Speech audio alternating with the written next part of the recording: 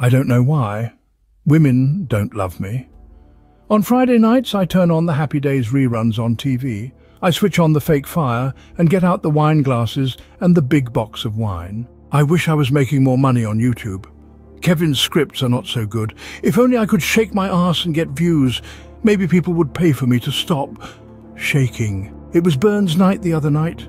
I celebrated with a bit of haggis. Apologies if this video sucks. If it sucks, at least it doesn't suck as much as Boeing. That's a plane I never want to fly on again.